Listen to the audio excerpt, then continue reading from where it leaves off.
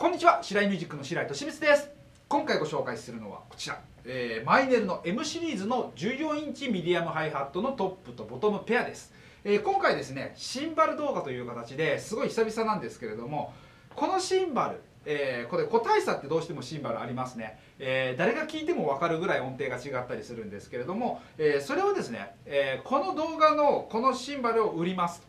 次の同じ品番のものが来たら取り直しますという、えーシンバル動画というシステムをずっと白井ミュージックやっていたんですけれども、えーここですね、えー何ヶ月かお休みしてみて。で、えしてみた結果ですねやっぱりこれやってほしいという声がすごく多かったのでよかったと思って あの